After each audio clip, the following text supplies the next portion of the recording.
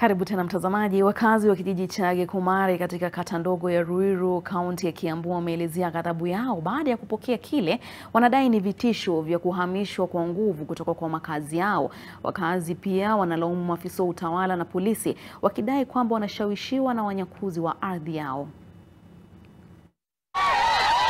Wakazi wa kijiji cha Gikumari katika kata ndogo ya Ruiru, kaunti ya Kiambu wanaishi kwa hofu baada ya kupokea vitisho vya kuhamishwa kwa nguvu.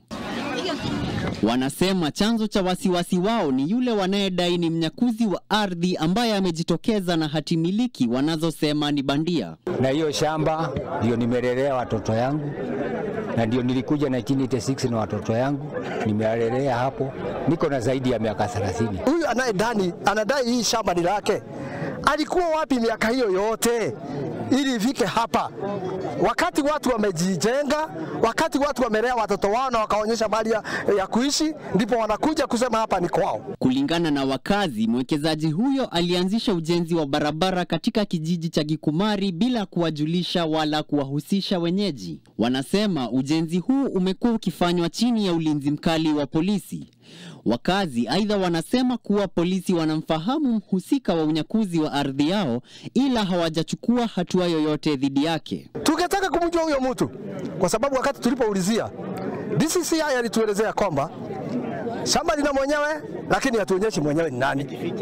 Anaficha mwenyewe, anaficha huyu mtu namna gani? Swali ndio tunauliza serikali hapa iingilie katikati, ituambie DCC ameingilia ame, ameingilia shamba ya watu namna gani? Wakazi hao walionyesha nyaraka za kuunga mkono madai yao ikiwa ni pamoja na hati miliki wanazosema walipewa na serikali baada ya ununuzi. Kwa wakazi wengi wa sasa ni mali ya urithi kutoka kwa wazazi wao.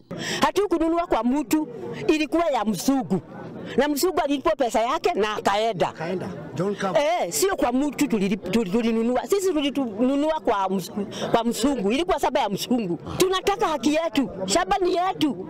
Naibu kamishna wa kata ndogo ya Ruiru amekana madai ya polisi kutumiwa na wanyakuzi wa ardhi, akisema kuwa ujenzi wa barabara unafanywa ili kufungua njia ya kufikia kijiji cha Gikumari na wala sio kutwaliwa na mtu binafsi. Aidha, anasisitiza kwamba ofisi yake haitumiwi kufanya ulaghai wowote. Dan Kauna, NTV. Nam, tukisonga mbele, maafisa wa upelelezi kutoka mashirika mengi ya usalama wamewakamata